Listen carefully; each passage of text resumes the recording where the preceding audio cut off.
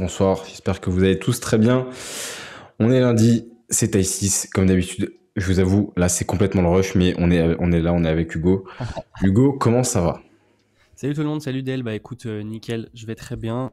Euh, j'espère que, que ça va dans le chat aussi. Ouais, dites-nous comment vous allez. On est curieux. Ah, ouais, je suis épuisé. Il est vanné. Il est vanné. Il est vanné. Non, mais pour vous dire, j'étais. Donc, ce matin, j'étais à Dijon. J'ai pris un train pour aller à Lyon, pour aller donner un cours dans mon ancienne école. Je suis rentré à Dijon à 20h, le temps de reprendre de rentrer chez moi et tout. Et il fallait que, que je finisse de préparer l'émission. Mais me voilà. Ah, salut Naomi, ma première de la saison enfin. Enfin, on t'attendait. On disait qu'est-ce que, ce que tu devenais? On était là, on comprend pas. Nao, elle est plus là. L'émission n'a plus de sens. Où va le monde en fait? Il y a Ju qui est là. Il y a Simon comme d'hab. Prune, les vrais savants. Elle dit quoi? Vanet alors qu'il habite pas Vannes. Mais Prune, depuis quand tu fais des blagues? Eh mais Prune, franchement, tu déteins trop sur Prune. Ça va pas du tout cette histoire. Quand on vous voit, ça va. Ah, c'est beau. Purée, on est votre dose de. Votre dose de je sais pas comment on dit, de petit bonheur. Salut Alexis, salut, salut. On aura euh, Sarah Chevaujon. Je vous mets au défi, ça c'est un bon exercice si vous voulez vous entraîner à la prononciation. Vous dites Sarah Chevaujon plein de fois d'affilée, puis si vous y arrivez, bah, c'est bien. Bravo. N'importe quoi. Et du coup, Sarah sera avec nous à 21h30. Euh, J'ai vu qu'on avait eu pas mal de questions super intéressantes sur, euh, sur Insta. Euh, et puis si vous en avez tout à l'heure, on essaiera de les poser aussi. Dose de sérotonine. Salut Ouais, c'est ça. Salut Lilia. J'ai entraînement normalement tous les lundis. Ah, alors ça veut dire que soit tu sèches, soit t'es blessé. Ou peut-être qu'il n'y a pas. Annu entraînement annulé, peut-être. Ou peut-être que c'est la trêve internationale. Voilà. C'est la trêve internationale. Exact.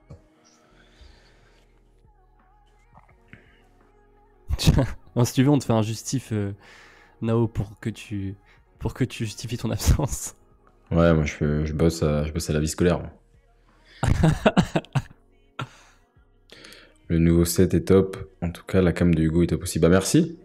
Ouais, on a, on a, tout, on a tout changé. Il a son petit micro de, de podcasteur là maintenant et une petite caméra. Et on, a, on a step up, hein. On a step up, on avait dit, hein, saison 2. Il fallait, il fallait. Euh, on va attaquer tranquillement le résumé des matchs qu'on a eu ce week-end. Euh, on aura Sarah juste après. Et puis, euh, puis après, comme d'hab, le petit déroulé classique de l'émission. On aura un peu moins de choses à dire sur les matchs à venir parce qu'il n'y en aura pas beaucoup euh, prochainement, puisque c'est la trêve. Mais on vous expliquera tout ça. T'as ici sur téléphone et Coupe du Monde sur la télé. Normalement, faut faire l'inverse parce que faut, vaut mieux nous voir en grand que c'est plus pratique. hein. Je sèche ce soir. Bah bravo, bah bravo Naomi. Euh, on va commencer, euh, on va commencer tranquillement euh, avec ah, j'ai vu Franck. Salut Franck. Eh, Franck, j'ai la même question que toi. Salut. Eh ben on lui posera tout à l'heure, surtout qu'en plus elle est pas du tout de. Attends si, elle est peut-être, je sais même plus en quelle année elle est née. En 80. Elle a 29 ans, non? Elle est 93, donc vraiment ce sera pas du tout ça la raison si vous cherchez. Ouais. Et ouais, on lui demandera tout à l'heure. On retient la question pour tout à l'heure, Franck. Euh, on va attaquer tranquillement les matchs euh, qui se sont déroulés ce week-end. Ça s'est joué sur vendredi et samedi avec euh, en premier match Bourges qui recevait Toulouse au Prado. C'est vrai que Toulouse maintenant avec le début de saison qu'elles nous ont fait, surtout sur les premiers matchs, on, s'attend à, on se dit que ça peut être un gros match parce que Toulouse, on sait qu'elles elles ont déjà surpris, qu'elles peuvent surprendre. Donc on se posait un petit peu la question de savoir si elles allaient réussir à, à titiller euh, un petit peu les, les berruyères. Euh, on a un match qui a commencé, euh, qui a commencé fort avec, avec pas mal d'adresses des deux côtés. Égalité à la fin du, premier quart-temps. Euh, Bourges qui a, réparti, qui a bien réparti la marque. hein. Il y a pas mal de, de joueuses qui sont à 10 points ou plus.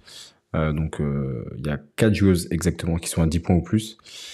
Avec une Kyla Alexander qui a été plus qu'efficace, 15 points, 8 rebonds, 4 interceptions pour 20 dévals. en face, on a eu Amina Tagay qui a fait, un bon petit match avec 10 points, 8 rebonds, 3 fautes provoquées et 13 dévals. On a eu Joey Beleka aussi qui a, planté un petit peu avec 12 points. Euh, et donc, euh, à la fin du, troisième carton, euh, Toulouse qui était un petit peu, un petit peu derrière, mais qui a réussi à revenir à 3 points de, Bourges dans, ce quatrième carton.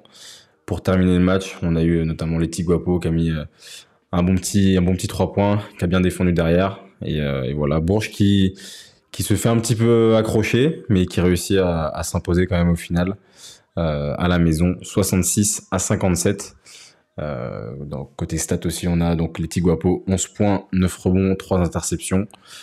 Euh, Yvonne Anderson, 10 points, 6 passes décisives. Vous avez euh, Ornella Moncollet qui a mis 10 points aussi. Et euh, derrière, voilà, Sarah Michel à 9. Donc, donc voilà, victoire de, Bourges sur ce premier match de la journée. Et puis Toulouse qui a, failli surprendre, mon petit Hugo.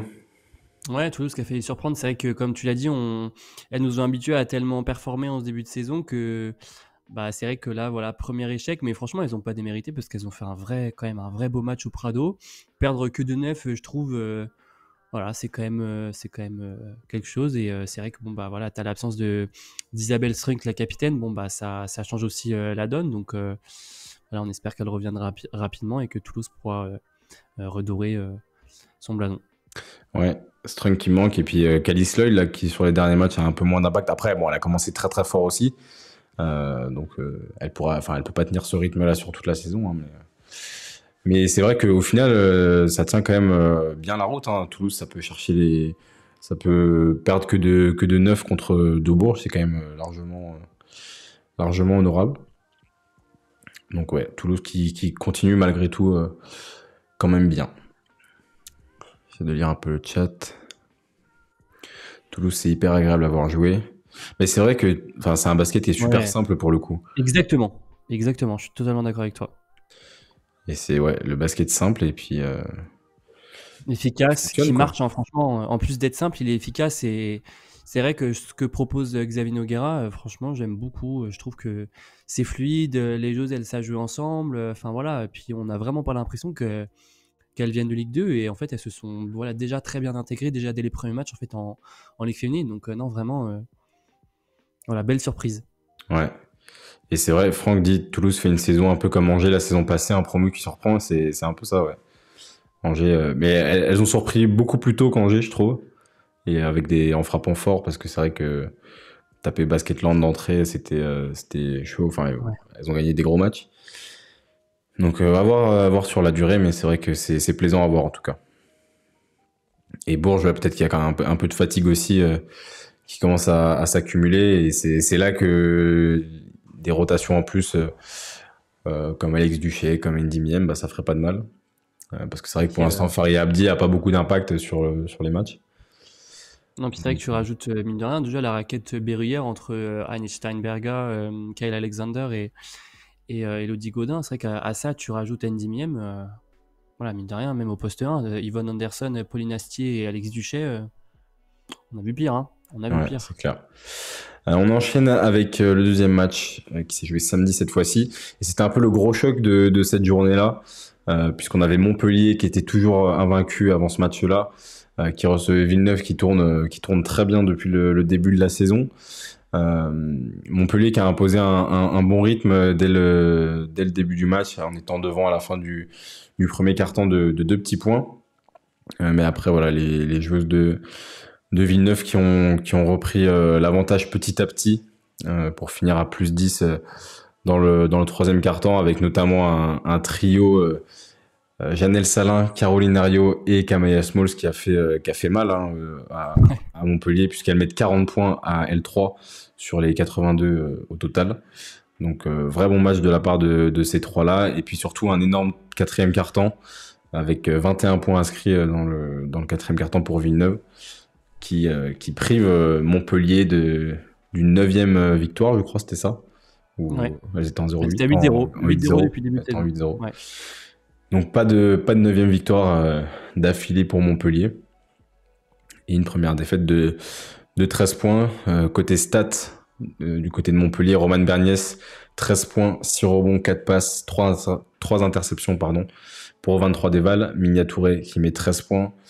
Euh, Caroline Skens aussi, pardon pour la petite vidéo. 8. Euh, qui met 8 points, 6 rebonds pour 14 déval. Et puis je vous disais du coup, Janelle Salin, euh, meilleur, euh, éval du match, 14 points, 9 rebonds, 4 passes, 20 déval. Caro Rio, 12 points, 5 passes, 4 interceptions, 16 déval. Et Camélia Smalls, 14 points pour 17 déval. Et ouais, Villeneuve encore qui, qui tourne quand même globalement bien sur ce début de saison, qui a perdu un match contre, contre Lasvel, qui en laisse un petit peu par-ci par-là, mais globalement il y a un, vrai potentiel, elle confirme le, le, bon recrutement aussi qu'il y a eu, et puis le, l'explosion de certaines joueuses, dont Janelle, qui depuis la saison dernière est quand même, euh, quand même monstrueuse. Clairement. Clairement, elle est monstrueuse, franchement, il n'y a, pas d'autre mot. Elle est, elle est incroyable, elle est vraiment incroyable. Tu as l'impression qu'on parle d'une joueuse qui a 15 euh, ans d'expérience, qui connaît, qui connaît les faiblesses de ses adversaires, qui connaît ses points forts à elle. Et en fait, elle est capable de performer à la fois sur, euh, dans, le côté, dans le côté offensif et dans le côté défensif. Et franchement, elle est, c'est vrai qu'elle a un apport quand même assez impressionnant. Et vraiment, c'est vrai que mine de rien, Villeneuve je trouve que c'est peut-être pas forcément l'équipe sur laquelle on miserait euh, quand tu regardes l'effectif. Parce que c'est vrai qu'il y a des, des, très bonnes joueuses, mais, euh, mais ouais, je sais pas. Peut-être que sur la feuille, c'est peut-être pas elles qui vont être forcément dans le, dans le, top, dans le top 3 des, des, gens. Mais euh, non, franchement, ce qu'elles proposent, c'est vraiment c'est solide, quoi. Et c'est vrai que. Elles sont. Enfin, moi, elles me surprennent quand même. Elles, elles me surprennent vraiment. Ouais, et bonne remarque d'Ethan dans le chat qui dit à noter le retour de Kennedy Burke qui s'était blessé euh, contre, euh, contre Giron en tour préliminaire euh, pour, pour l'Euroleague, qui s'était fait mal quand elles avaient joué au Palacium. Et, et c'est quand même c'était une grosse recrue aussi hein, pour, pour Villeneuve, donc là c'est bien qu'elle soit de retour. Et si, si elle commence à performer, ça peut être aussi bénéfique pour, pour Villeneuve. Mhm. match d'après, on avait Lasvel qui recevait Angers. Ouais, Lasvel qui recevait Angers. Bon, bah, Lasvel qui ne devait que confirmer euh, voilà, leur, euh, leur, excellent début de saison en LFBL qui était, à 3-0. Et donc euh, voilà, le Lyon qui reçoit du coup Angers à Mado Bonnet. Bon, bah, le, match, le match commence un petit peu mal malheureusement pour Angers puisque bah, dès les premières minutes, euh, Kekele Lenga se blesse. J'avoue que je n'ai pas de nouvelles de mon côté. je crois qu'elle attend encore des, résultats. Euh, et pourtant, elle avait très très bien commencé son match, hein, parce qu'en 7 minutes, elle met déjà 9 points. Et c'est vrai que bah, pour Angers, depuis le début de saison, elle est quand même euh, très très importante. Elle était dans le 5 euh, la semaine dernière. Elle fait un très très bon début de saison. En plus, on en a parlé dans l'émission. Donc voilà, c'est un gros coup dur pour Angers.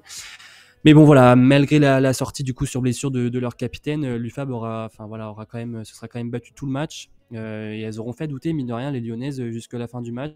Euh, mais malgré ça, voilà, on a Marine Johannes qui avait fait un très bon, très bon match mercredi dernier en, Eurocoupe. Elle a continué sur sa lancée, elle a inscrit 23 points cette fois-ci euh, euh, ce week-end, ce samedi. Voilà, elle était clairement indéfendable en première mi-temps, elle était en feu Marine. Donc c'est de bon augure aussi pour l'équipe de France puisque bah, du coup l'arrière des Bleus les a rejoints, enfin a rejoint l'équipe de France elles se sont rassemblées hier à Saint-Etienne. on a une, une, autre performance également qui est, à noter, c'est la, magnifique, la magnifique d'Elena Siak, 19 points à 8 sur 8 au tir, 7 euh, rebonds, 25 d'évaluation. Donc euh, une vraie performance hein, pour le, pour, la, pour l'intérieur de l'équipe de France qui a rejoint les Bleus euh, hier également. et en fait, ce qui est, je trouve ce qui est très fort sur ce match-là, c'est que toutes les, les, joueuses du, starting five de Lasvel ont, ont, été, ont été dedans, ont été impressionnantes. Laura Quevedo, c'est 17 points, 8 rebonds, 20 d'évaluation. Alexa Chartereau, c'est 14 points, 6 rebonds, 6 passes. 17 d'évaluation et Blake Dietrich c'est 8 points, 9, 9 passes, 15 d'évaluation. Donc euh, toutes les joueuses qui étaient dans le 5 sont au minimum à 15 évaluations, c'est dire euh, le niveau quand même qu'a ce 5. Et du côté d'Angers, c'est Alexis Peterson euh, qui termine le match avec 14 points, 5 rebonds, 6 passes, 4 interceptions en liste d'évaluation. Comme d'habitude, hein, Alexis qui est toujours dans, les lignes de stade. Jody Cornelis Sigmundova qui, qui, score 15 points. Et donc finalement, c'est Lasvel qui s'impose à domicile 87-76 et qui donc permet de s'aligner avec Bourges en tête du classement, 4 victoires, 0 défaites. Ouais, toujours, toujours un récup pour, pour les Lyonnaises. On va enchaîner avec la rencontre suivante. Basketland qui recevait La Roche. Gros duel à Mont-de-Marsan, euh, vraiment gros choc euh, entre Basketland et, La Roche, au-delà du fait que, euh, que c'était deux, équipes voilà, qui, qui, qui, sont toujours très combatifs sur le terrain. On avait le duel Antoine Campa, Titon Michon, les vrais savent. donc, donc, nouveau choc, voilà, du nouveau choc du côté de de Marsan. franchement, La Roche commence très très bien son match. Ça a été un, une semaine difficile pour elle parce qu'elles bon, voilà, elles ont enchaîné un petit peu les, les défaites, défaites frustrantes à Londres la semaine passée en, en Eurocoupe. Fallait vite se ressaisir et voilà, comme on, dit, on le dit tous les lundis, mais c'est pas facile d'aller jouer à, à François Mitterrand. L'ambiance landaise et la ferveur landaise euh, arrive à déjouer bien des, équipes. Donc, euh, donc voilà, La Roche qui, mine de rien, euh, part avec une avance de 12 points en, rentrant au vestiaire. mais la pause, mine de rien, aura permis aux Landaises de revenir. parce que du coup, elles permettent de, voilà, reviennent à égalité avec La Roche au troisième quart-temps. Elles, passent, devant au quatrième quart-temps. les Landaises qui terminent quand même le troisième quart avec 28 points marqués. Donc euh, gros gros troisième carton qui leur permet de, bien revenir avec une Marine Photux euh, des grands soirs, 16 hein, points, 7 rebonds, 6 passes, 17 d'évaluation. Mais malheureusement, Marine, elle était un petit peu toute seule. Euh, voilà, mise à part les 15 points de Lydia Tursinovic et les 12 points de Devlina Kator, euh, manquait un petit peu à BL pour, prendre la victoire, puisque c'est dans les dernières minutes l'ancienne justement du club, Anna Suarez, l'Espagnole, qui inscrira le 3 points de la victoire euh, en, transition, elle, est ouverte, elle prend, il reste 55 secondes à jouer.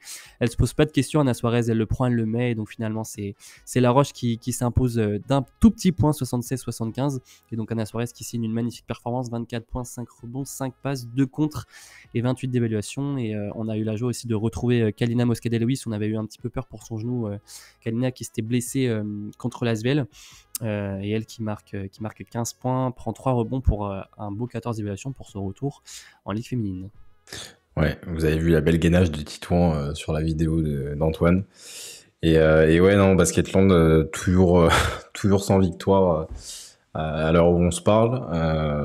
on verra, on en parlera en fin d'émission, mais Evelyne Akator va être remplacée par, par Laura Gilles, on dit Ou Gilles Ouais, Laura Gilles. Gil, Gil. Vous remarquez mon accent espagnol euh, exceptionnel. Ouais. Et, euh, et, on verra si, euh, si, si, ça peut amener un peu de, de, de 109 à cette équipe qui, qui, en a bien besoin. Mais voilà. Et puis une victoire qui fait du bien côté, côté La Roche.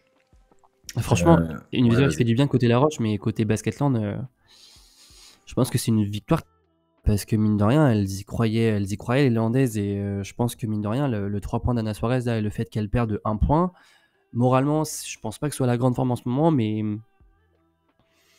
voilà, malheureusement pour elle, je pense que ça ne fait, euh, ça ne va, ça ne va pas dans leur sens. C'est clair. Euh, on, enchaîne avec la Bretagne. Et là, ça gagne la Bretagne. La Bretagne, ça gagne. Qui recevait, euh, qui recevait les flammes de Sarah Chaujon, justement. Et Landerneau qui a gagné son premier match de la saison à domicile. Ouais, grosse victoire. Hein. Grosse, pour moi, c'est la surprise euh, de, de, cette journée. Et je suis super content de pouvoir enfin vous dire que Landerneau euh, a, gagné, a gagné un match en Ligue féminine. donc, victoire des, voilà, des Landernéennes, des Bretonnes sur, leur, sur leur terre contre Charleville. Donc, mine de rien, gros cylindre celui-là. Euh, donc 17 partout à la fin du premier quart-temps, c'était quand même un match assez serré. Euh, les Flammes euh, virent en tête à la mi-temps de, trois petits points, donc ça, ça a vraiment été ping-pong tout le long de la partie. Le retour des vestiaires, c'est Landerneau cette fois-ci qui reprend l'avantage, qui accélère le rythme et qui, qui, domine voilà, Charleville le reste du match. Landerneau, c'est Jay Zanoun qui Nun, je sais pas comment on dit, qui, euh, a fait, un beau chantier, 22 points, 4 rebonds, 19 d'évaluation. Euh, elle a bien été accompagnée quand même de, ses coéquipières, Leia Dong qui, score 14 points, qui capte 9 rebonds, qui 4 passes pour un beau 18 d'évaluation. Renia Davis, 11 points, 12 rebonds, un très beau double-double, 4 passifs, 16 d'évaluation. Et euh, la, performance aussi de Virginie Brémont à noter, hein, parce que je pense que voilà, c'est aussi l'expérience et son leadership qui permet à Landerneau de, de virer en tête. Virginie Brémont, c'est 5 points, 6 rebonds, 8 passes pour 15 d'évaluation. Et du côté des flammes, euh, bah, c'est Sarah Chevaujon et Nicolina Milic hein, qui ont tenté d'offrir la victoire euh, au leur, mais euh, malheureusement sans, conclure. Sarah, c'est 23 points, 2 rebonds, 2 interceptions pour 21 d'évaluation. Nicolina Milic, la Serbe, c'est 19 points, 7 rebonds, 2 interceptions. 7, 7 fautes provoquées pardon, pour 22 d'évaluation. Et Amel Boudera, comme à son habitude, 8 points, 11 passes décisives pour 10 d'évaluation. Et donc Landerneau sa première victoire à domicile à ses supporters. et donc première victoire dans le championnat Score final, pardon, 74-67. Ouais, belle victoire qui, j'espère, lancera enfin la saison de, de Landerneau.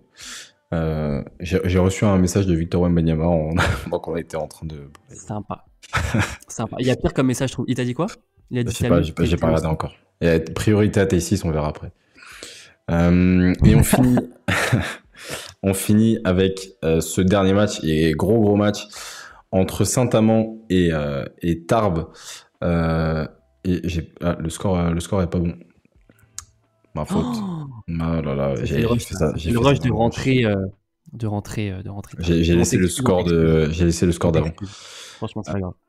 Euh, le score final, c'est 89-93 pour pour Tarbes. on a eu un, un gros match où, où Saint-Amand a, imposé son, son, son, jeu dès le, dès le début du match. 26-20 euh, dans le, dans le premier quart-temps, 22-16 dans le, dans le second. Elles étaient à plus 12 à la mi-temps, avec notamment Hortense Limousin qui, a, qui est pas loin du triple-double, 13 points, 7 rebonds, 10 passes d'ess pour, pour 20 dévals.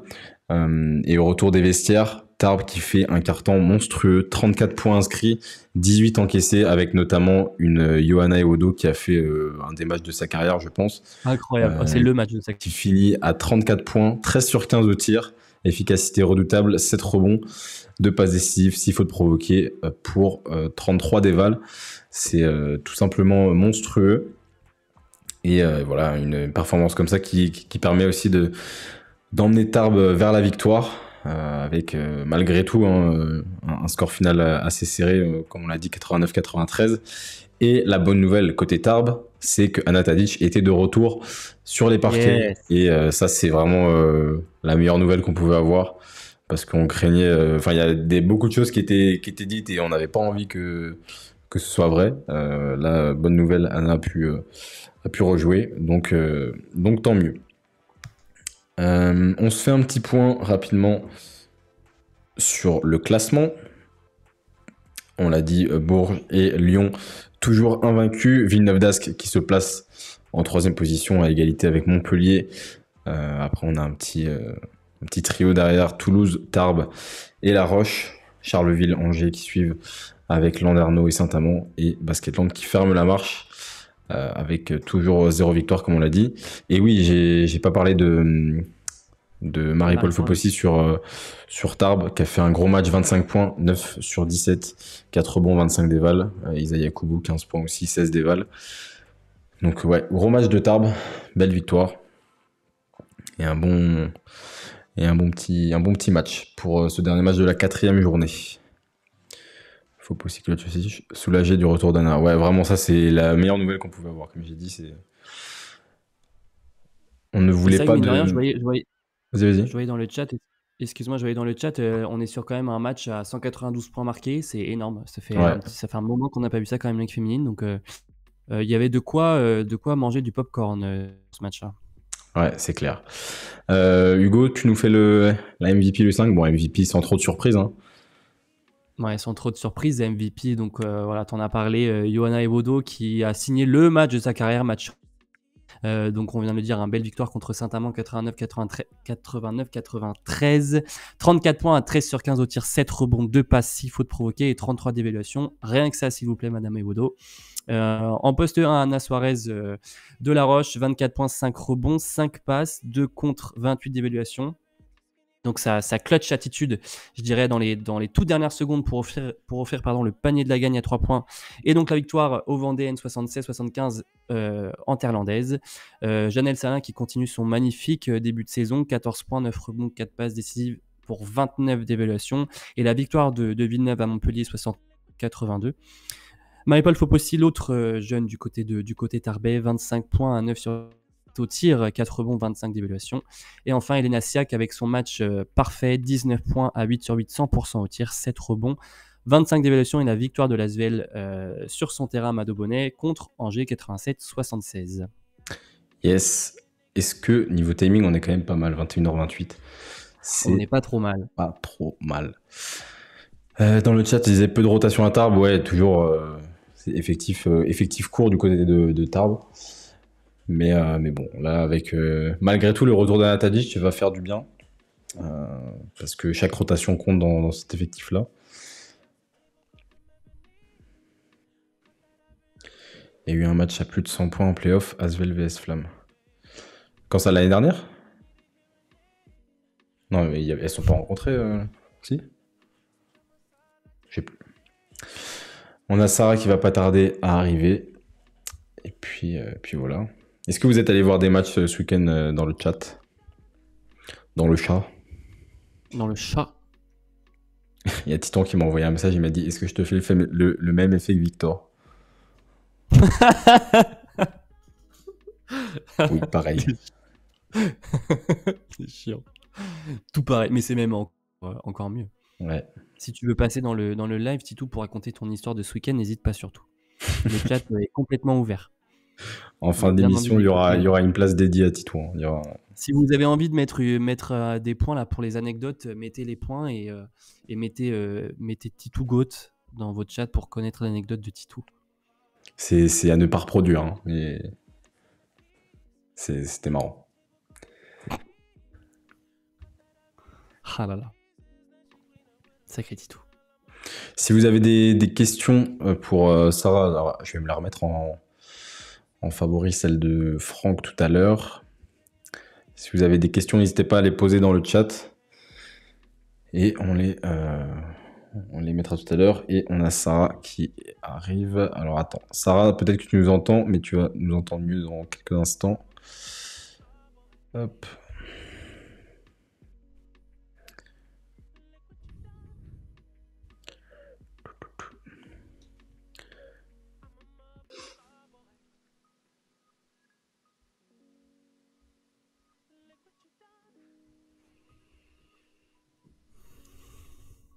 On t'entend pas. Sarah, est-ce que tu nous entends? Ouais, c'est bon, ça y est. Ouais, ça y est. Ça va? Ça va et vous? Ouais, ça va bien. Bah, écoute. Ça va, ça va. Nickel. Ravi que tu sois là. Bah, merci à vous pour l'invitation. Ouais, non, c'est c'est cool. Je viens de voir un message déjà dans le chat qui dit on voit bien Sarah, je suis voyageant. Ça, je me garde la question pour tout à l'heure, Sarah, parce qu'il va falloir qu'on en parle. Je vais pas y échapper, je pense. Non, ouais, très content que, que tu sois, que tu sois là avec nous. Euh, on a plein de, plein de petites questions pour toi. Euh, on, a, on structure un peu le, la chose de la même façon à chaque fois. C'est de, on, on rappelle un petit peu ton, ton parcours euh, et ta progression pour les, les gens qui seraient pas au courant. On fait un petit point sur là ton actu avec, avec Charleville et on essaye souvent de faire un petit passage aussi au niveau de, de l'équipe de France, voilà, sur les, les- différentes expériences que tu as pu euh, vivre. Donc, euh, si, si c'est quelque chose qui te va, euh, on part là-dessus. Nickel. Let's go. Euh, alors déjà, donc né, tu viens de La Rochelle, t'es né là-bas. T'as commencé au Rupella, tu m'avais dit, c'était ça. Euh, si tu devais nous vendre la ville en trois points, ce serait quoi? Bah, déjà, euh, destination euh, balnéaire. Je vais pas vendre les plages quand même, parce que ça serait vous mentir. Euh, non, après, c'est une ville vachement dynamique, euh, vachement agréable. Euh, le port de La Rochelle, Fort Boyard, Fort Boyard. ville de Ré. Voilà, c'est. Je pense que j'ai tout dit là. Ouais. Moi, j'ai un souvenir. Alors, j'étais allé quand j'étais gamin et le, un des seuls souvenirs que j'ai, c'est des, des Indiens qui jouent de la flûte sur le port en jean. C'est vrai, c'est vrai. Mais ils sont là tous les étés, je rassure. Des vrais Indiens en jean. Ouais. Avec leurs euh, grosses flûtes. Ouais, les flûtes de euh, pan, là. Ça Ouais, arrive, c'est euh, Peter Pan, ouais, c'est, Non, c'est pas un mythe, c'est... je confirme. ils sont là. franchement, le, ton surnom Sarah Che Voyageant te va très bien. Du coup, guide touristique et tout, t'as très bien vendu. C'est, ça te va comme un gant en fait. Et, euh, et du coup, après ça, t'étais parti en Australie, c'est ça, si je me souviens, tu m'avais dit ça. Ouais. Et, euh, Le 9 à 11, ouais. Ouais. Et c'est là-bas que t'avais eu un peu un déclic sur le fait que tu voulais jouer au basket, toi, c'était ça? Bah, pas vraiment un déclic parce que j'étais encore jeune, mais c'est vrai que par rapport à l'intensité des entraînements que je connaissais à La Rochelle, euh, je suis montée d'un cran, donc c'est vrai que j'y investis plus de temps en tout cas. Ouais. Et euh, après, plus tard, euh, donc tu passes par, par l'INSEP. Tu as eu l'opportunité de jouer au club de, de Châles-les-Eaux avant, juste avant qu'ils qu'ils déposent, enfin qu'ils mettent la clé sous la porte. Vous finissiez troisième cette saison-là, je crois. Et tu étais avec, euh, avec MEP à Châles, c'était ça. Et, euh, et tu finis euh, meilleur jeune du championnat cette saison-là. Toi, à cette époque-là, quand tu commences à avoir un peu des, des minutes en LFB, tout ça, c'était quoi tes, tes objectifs à ce moment-là? Ouais, ça fait un gros flashback là. déjà, déjà quand suis, quand j'ai signé à Châle, moi, j'étais encore en double projet, donc j'étais pas, j'étais pas professionnelle à 100%, parce que je, je m'entraînais avec le centre de formation, je jouais avec le centre de formation. Et euh, par contre, euh, voilà, j'étais euh, j'étais tout le temps avec les pros, je faisais les déplacements avec les pros. Et du coup, ça pour moi, ça a été, ça a été super parce que les week-ends, j'engendrais beaucoup de confiance avec, avec les espoirs parce que j'avais beaucoup de temps de jeu, on avait un super groupe. Dont MEP, enfin il y a plein. Bon, maintenant il y a des filles qui sont un peu, un peu sorties du, du cercle, mais voilà, j'avais beaucoup de temps de jeu avec les espoirs. On faisait vraiment des. On a fait une grosse saison cette année-là parce qu'on finit championne de France en plus. Et en plus de ça, j'avais l'opportunité de m'entraîner avec les pros tous les jours, de faire des déplacements. Et, euh, et je pense que ça m'a fait énormément progresser. Et euh, très reconnaissante aussi parce que le, le coach qui était Aldo Corno à l'époque euh, m'a fait confiance. M'a fait confiance clairement. Et bon, je dis pas que je jouais à tous les matchs parce que le banc, je l'ai chauffé quand même. Hein, mais mais il m'a vraiment euh, donné l'opportunité de, rentrer sur certaines rencontres et, j'ai pu m'exprimer. Et, c'est vrai qu'avoir le, titre à la fin, euh, le, trophée de MVP jeune, c'était vraiment. Euh, j'étais vraiment très contente et c'est vrai que ça a un peu lancé ma carrière pro, entre guillemets, dans le sens où je me dis, bon bah voilà, tu vois, c'est cool. première année avec les pros et, et première distinction personnelle, donc c'est vrai que c'était super. Ouais, ça, beau, beau petit tremplin pour commencer. Ouais, c'est ça. Et tu t'en rendais compte d'un autre côté, euh, d'un autre côté, j'étais dégoûtée parce que normalement je devais faire deux ans, je me sentais super bien à Châles-les-Eaux, il y avait vraiment, euh, voilà, je sentais que, que je progressais, que, que, je prenais du plaisir. Et ça s'est arrêté net, quoi. Donc euh, ça, c'est vrai que ça a été, ça a été moins cool, mais, mais voilà, c'était vraiment une bonne expérience en tout cas. Est-ce que tu te rendais, est-ce que tu aujourd'hui tu t'en rends compte avec le recul de ce que c'est, le privilège que c'est mine de rien d'être désigné meilleur espoir de la LFB Ouais, ouais, clairement. Euh, après, je pense que je me rendais pas compte à l'époque. Ouais. C'est pour ça que je dis maintenant, c'est vrai que je pense qu'avec le recul, tu as peut-être plus de maturité aussi pour te rendre compte de le recul, euh, avec... Ouais, ouais, c'est clair. Je pense que à l'époque, euh, je me suis dit bon, bah c'est cool, je suis la petite jeune. Mais voilà, enfin, c'était que ma première année pro et et comme ça aurait pu aussi s'arrêter pour moi, tu vois, peut-être que j'aurais mmh finalement pas percé autant. Et mais c'est vrai que non, non, c'est, on s'en rend pas compte sur le coup, c'est clair. Et du coup, bah, après ça, du coup, le, le club s'effondre malheureusement. Et toi, du coup, tu pars à Lyon avec euh, donc quelques coéquipières sous les ordres de Marina Malkovic, la Marina Malkovic. Euh, Mina Touré nous en a parlé. Avant Laurent Buffard. Ah ouais, ok. Euh, et donc Mina nous en a parlé, on a reçu Mina l'autre jour là qui nous en a parlé un petit peu de Marina. Euh, est-ce que cette coach elle a eu un impact sur toi et sur ta façon de travailler? Ouais, franchement, moi j'ai vraiment, j'ai vraiment kiffé mes années avec Marina. Euh, après, c'est soit ça passe, soit ça casse, j'en ai conscience. Mhm. Euh, j'ai certaines coéquipières à l'époque qui ont eu vraiment euh, un temps très très dur avec elle quand même, parce que ça passait pas pour le coup. Et moi, j'ai eu la chance que ça passe entre guillemets. Du coup, c'est pareil, elle m'a vraiment, elle m'a vraiment donné beaucoup de confiance. Et, et c'est sûr que dans, dans, la rigueur, dans l'intensité à l'entraînement, dans, dans, tout ça, c'est clairement une vraie leçon, quoi, parce que ça blaguait pas, hein, c'était vraiment à l'ancienne avec le sifflet, euh, c'était euh, axé sur les, sur les sprints, sur les 1 contre 1, sur la défense, sur l'agressivité, sur... Euh, donc c'est vraiment des années qui m'ont marqué quand même. Et c'est quoi ces valeurs à Marina justement en termes de basket? Est-ce que, est que toi, quand tu la vois aujourd'hui, je sais pas, coach avec la Serbie, coacher aujourd'hui, elle est coach du Fenerbahçe, est-ce que, est que ça a changé? C'est quoi ces valeurs, ces valeurs primaires dans, dans le basket qu'elle propose? Je t'avoue, j'ai pas trop regardé Fener jouer cette année encore, mais euh, mhm. je, suis beaucoup l'équipe nationale. Et, euh, et, voilà, c'est juste, c'est des soldats, quoi, les filles. C'est euh, mhm. la rigueur, c'est le travail, c'est l'agressivité, c'est ne jamais rien lâcher, c'est voilà, pas montrer ses émotions, être dur. Et pour avoir joué avec Kreven en plus, Alexandra, on a pu échanger par rapport à ça. Et ce qu'elle me raconte en équipe nationale, je pense qu'il y en a peu qui survivraient Ouais. Ah ouais. C'est vraiment, euh, ouais, c'est intense et c'est dur. Hein, y a... Mais bon, d'un autre côté, après, quand on les voit jouer, quand on voit les résultats qu'ils ont eu ces dernières années, et voilà, y a pas, on n'a rien sans rien. Hein.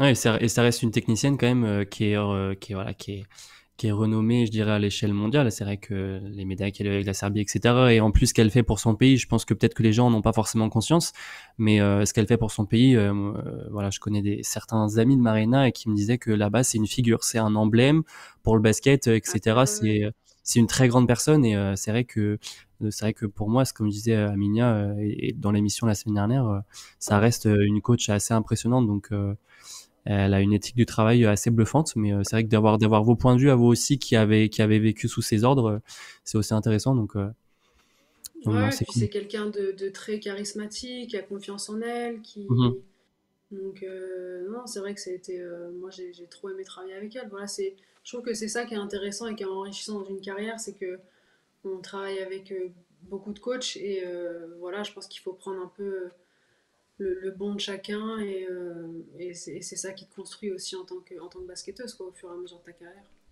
Mmh. Et donc du coup, tes bonnes saisons à Lyon font un petit peu, je dirais, euh, voilà, de l'œil à Bourges que tu rejoins en 2015 pour deux saisons. Euh, et donc en 2015, bah, pour ta première saison sous la tunique berruyère.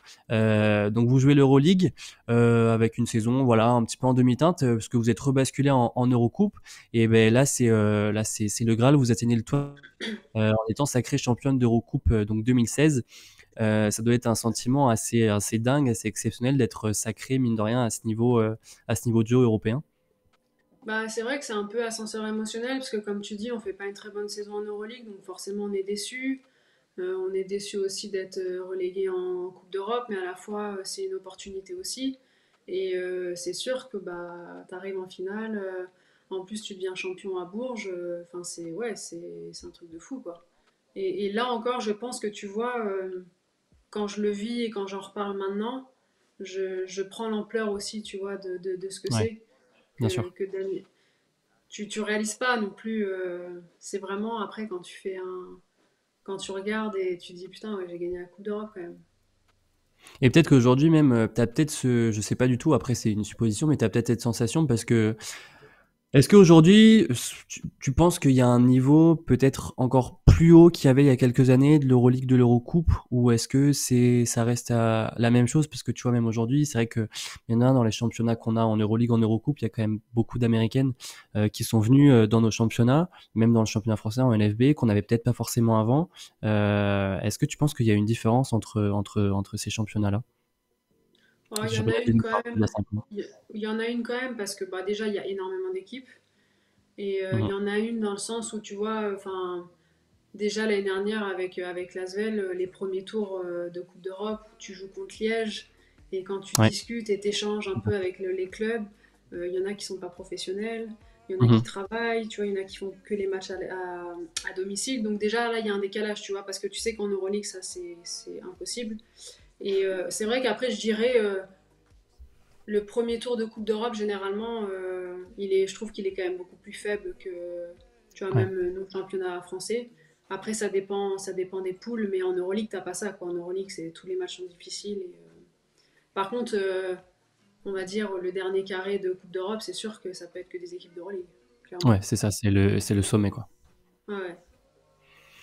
Et donc, euh, du coup, deuxième saison à Bourges, cette fois-ci peut-être un peu plus frustrante. Euh, tu t'aventures euh, du coup après dans les Ardennes, où tu avais bien, formé, avais bien pardon, performé pendant trois saisons. Qu'est-ce que tu en avais tiré de, de ce premier passage à Charleville? Bah, Enrichissant dans le sens où la première année, quand même, entre enfin, ce qui a été transitoire, hein, parce que ça a été difficile quand même. J'ai pas tout le temps eu beaucoup de temps de jeu. Euh, il y avait des filles euh, voilà, très performantes à mon poste de jeu.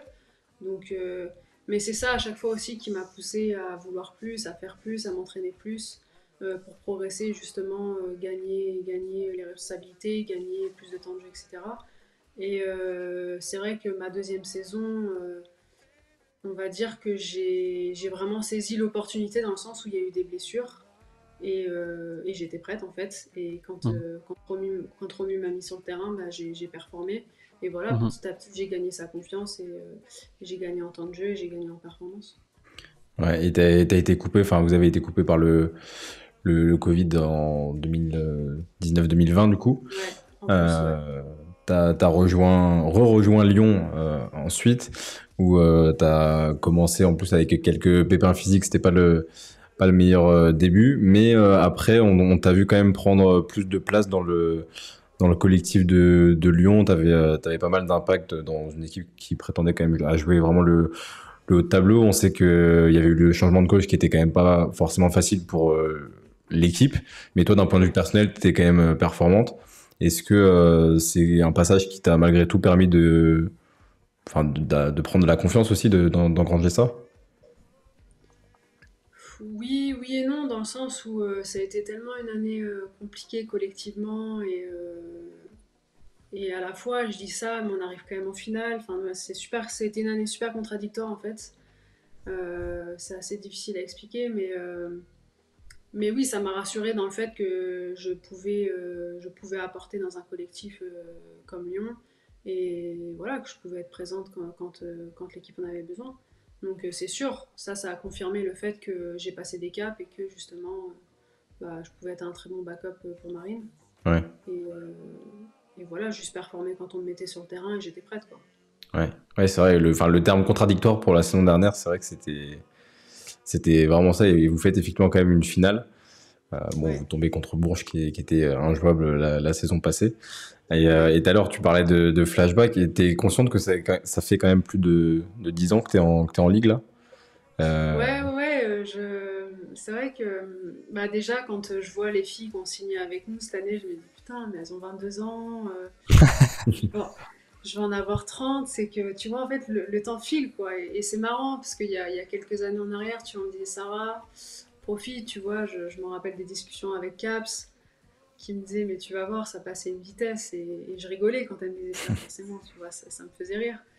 Mais c'est sûr qu'aujourd'hui quand, quand, je me dis que c'est ma douzième saison LFB que je vais avoir 30 ans que, que les filles euh, qui signent euh, ont 22 ans tu vois enfin c'est sûr ça te ramène à cette réalité là aussi euh, que je suis plus au début de ma carrière alors je suis pas je suis pas à la fin mais mais voilà je fais plus partie je fais plus partie des jeunes, ça c'est sûr. Après, ce qui fait qu'il y a aussi, euh, parce que 10 ans c'est un peu le, nombre symbolique comme ça, mais le truc c'est que, enfin, surtout dans le championnat de France, il y a beaucoup de, joueuses qui commencent super tôt et qui sont intégrées super tôt aux équipes. Donc au final, quand tu commences à 17-18 ans, bah, forcément à 27-28 ans, tu as déjà fait 10 ans. Ouais, c'est clair. Euh, ouais, quand je pense à Alexia Chartereau ou Marie ouais, c'est ça. Iliana Rupert, euh, enfin, moi je m'en mettais toujours pas qu'Alexia Charteau. Enfin, pour moi, elle a 28 ans, quoi, tu vois, Alex. Mais, euh, mais non, quoi, c'est, ouf. Ouais, et tu vois, bah, Yusté, euh, qui vient d'avoir 17 ans, euh, quand elle aura 26 ans, elle aura déjà 10 ans de, de ligue si elle est encore là. Ouais, non, c'est incroyable, c'est incroyable. Donc, ouais, non, c'est. Mais c'est ça aussi qui fait la force du championnat. C'est... Ouais, mais carrément, carrément. Quand tu vois même Dominique Malanga cette année qui est propulsée avec les blessures, avec. Enfin, c'est, c'est génial, quoi. On a une, une question, j'en profite là dans le le chat, c'est toi qui l'as vu, Hugo? Tu l'as vu passer Ouais, euh, il y a Alexis qui demande dans le chat euh, euh, comment tu as, géré ton rôle avec, avec Marine Johannes, quel enseignement tu gardes de l'année passée avec Pierre Vincent, qui t'a quand même voilà, donné des responsabilités malgré les critiques qu'il a pu recevoir? La première, c'était Marine, c'est ça? Comment j'ai géré Ouais, comment tu as géré ton rôle avec Marine? Je l'ai géré dans le sens où euh, quand j'ai signé à Lyon, euh, c'était plutôt clair. Hein. je savais que je venais pas pour 35 minutes de temps de jeu. Euh, on a toujours eu une concurrence très très saine, elle et moi, à l'entraînement. donc voilà, ça c'est. Enfin, je veux dire, après, ce qui se passe, les, les choix des coachs, c'est pas. C'est pas entre nos mains, entre guillemets. Donc voilà. Indépendant de volonté, quoi. Exactement. Donc voilà, moi, je suis quelqu'un qui m'entraîne dur. Euh, je, me suis entraînée dur pendant des saisons contre Marine. Et voilà, j'estime que c'est ça aussi qui fait progresser. Et, euh, et, moi-même, de défendre sur Marine Johannes tous les jours à l'entraînement, je peux vous dire que ça fait progresser aussi. Quoi. Euh, quand, quand, on voit son talent offensif, voilà, des fois c'est sûr que bah, c'est frustrant. Hein c'est frustrant parce qu'elle te met des choses sur la gueule, enfin, voilà, comme vous la voyez faire tous les week-ends. Mais bon, d'un autre côté, c'est là où tu progresses le plus aussi. C'est défendre sur les plus gros dangers offensifs euh, de la ligue. Donc euh, non, non, ça par rapport à ça, c'était super enrichissant. Et euh, la deuxième question, c'était par rapport à Pierre Vincent, tu disais? Ouais, quel enseignement tu gardes de l'année passée avec Pierre Vincent qui t'a quand même des responsabilités malgré les critiques qu'il a pu recevoir? Ouais, ouais, c'est sûr, j'étais, j'étais reconnaissante parce que c'est vrai que ma première année à Lyon, comme le disait Noé, ça a été un peu difficile dans le sens où je suis arrivée blessée et avec Valé, on n'a jamais créé vraiment de, connexion. Mmh lui et moi, et j'étais gérée d'une manière voilà, assez frustrante par rapport à l'expérience que j'avais en ligue. Et des fois, j'avais l'impression d'un peu d'être gérée comme, comme une espoir. Bref, ça c'est un autre sujet, mais non, c'est sûr que quand Pierre Vincent est arrivé, moi ça m'a fait du bien personnellement parce que je trouve quand même que ça a remis les pendules à l'heure et que et qui m'a laissé ma chance tout simplement. Ouais, c'est vrai que ça, ça, a vraiment euh, un peu rebattu les cartes aussi dans la. Enfin, il y avait malgré tout une hiérarchie un petit peu avec les joueuses qui étaient déjà là euh, auparavant sur, euh, sur l'Asvel. du coup, au final, ouais, pas de, pas de titre la saison dernière. Et Lyon, qui a, là, cette année, même s'il y a des joueuses qui, qui, sont restées, qui a pas mal renouvelé son, son effectif. Toi, retour dans, dans, les Ardennes. pourquoi avoir fait ce, ce choix-là? Euh, la première vraie raison, c'est vraiment mon rôle dans l'équipe. Euh, on va dire que j'ai eu un rôle de, backup toute ma carrière. Et euh, bah, comme je disais tout à l'heure, je vais avoir 30 ans et, je pense que j'avais vraiment besoin de ça personnellement. ne plus rester dans l'ombre de quelqu'un ou la rotation de quelqu'un. je pense qu'au bout d'un moment, j'allais aussi stagner moi. Problème technique. j'allais euh, stagner moi-même en fait finalement. Euh. donc euh, je, je pense que déjà j'étais prête à avoir ce rôle-là. Et, je pense que si je veux passer d'autres caps aussi, tu vois, dans ma carrière, je... Voilà, c'était le bon timing. C'était vraiment le bon timing. je sais que je vais peut-être dans un club un peu moins compétitif. même si, voilà, Charleville, c'est top 6 depuis, depuis des années et des années ça a été un choix personnel quand même. Ouais, non, mais clairement. Et... Enfin, moi, d'un côté, j'étais content aussi de devoir euh, aller dans un club où justement tu allais avoir un rôle tu vois, plus important pour euh, t'exprimer davantage. Et ça fera le lien tout à l'heure avec euh, l'équipe de France aussi, parce que c'est aussi comme ça que tu vas pouvoir te, montrer. là, juste pour revenir sur Charleville et, cette saison, à l'opening, Amel, elle me disait qu'il allait avoir. Allait falloir un peu de temps à Charleville parce que l'effectif s'était euh, renouvelé à 80-90%. Euh, au final, euh, bilan bon, en, championnat de France un peu mitigé pour l'instant, mais on est au début de saison. En Eurocup, ça tourne, ça tourne pas trop mal. Les automatismes commencent à se, à se mettre en place là Ouais, ouais, après, c'est vrai que Coupe d'Europe, on, engendre un peu de confiance, mais c'est vraiment un niveau en dessous du championnat de France, on va pas se mentir. En tout cas, nous, les équipes qu'on a pu rencontrer, que ce soit euh, la Croatie ou, euh, l'autre équipe, euh, à part Angers, tu vois, bah, qu'on a battu chez nous, mais on a perdu la semaine dernière. plus l'enchaînement des défaites en, championnat de France, c'est vrai que c'est un, peu, un peu compliqué à gérer. comme tu disais, l'effectif a été renouvelé à 90%, donc on savait de toute façon que, que ça allait être difficile et que ça allait prendre plus de temps, on va dire. Euh, après, c'est vrai, c'est, je pense qu'il nous manque un peu de, un peu d'expérience, un peu de d'expérience dans le sens où euh, finalement le Hainaut on le perd de 3 points et, parce que je pense qu'on panique un peu, parce qu'on est, on est jeune, parce que voilà, on maîtrise pas encore tout ce qu'on fait. Et on ne peut pas se dire, euh, voilà, on va, on va s'appuyer sur ça, ça et ça pour, euh, pour tuer le match. Quoi. Et, c'est un peu le problème qu'on a euh, depuis le début de saison.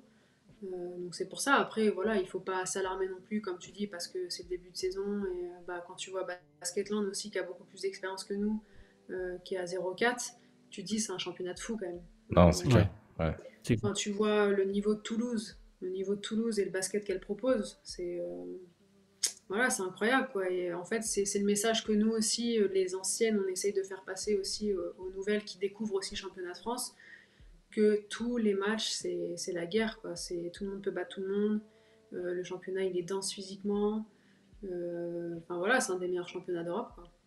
Ouais, c'est clair. donc voilà, c'est un peu, un peu frustrant et un peu déstabilisant parce que bah, c'est vrai quand tu regardes le ranking, on est avant-dernière, ça fait bizarre, tu vois. Enfin, ça fait chier même. Ça fait chier, mais, mais voilà, je pense qu'il faut pas, faut pas paniquer non plus. Et, euh, mais après, voilà, c'est sûr que c'est un cercle vicieux, tu vois. Tu perds, tu, ouais, tu patoles un peu, quoi. Donc euh, je pense que le break va faire du bien aussi pour que tout le monde se remette la tête à l'endroit et récupèrent un petit peu physiquement et voilà, repartent de plus belle. Même si là, avant la trêve de Noël, on n'a pas des cadeaux, quoi.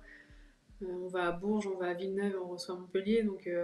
ah, ce sera l'occasion de faire des gros coups je me dis, voilà, c'est des matchs qu'on va peut-être pouvoir jouer aussi avec un petit peu moins de pression et, peut-être se libérer et débloquer des choses. Quoi.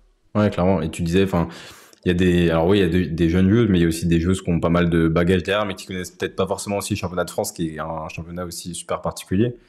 Et je pense qu'il y, a de ça aussi, le, temps qu'elle s'acclimate un peu à tout ça. Bien sûr, euh, bien sûr Et ça vous permettra après de, de bah, d'aller chercher les, les matchs dont vous aurez besoin. Euh, je vois Lila qui, alors, elle qui est fan de Emily Engstler et qui dit est-ce qu'elle est aussi cool qu'elle est forte? Elle est super cool, je, confirme. Ouais, ton nom revient souvent dans le, dans le chat.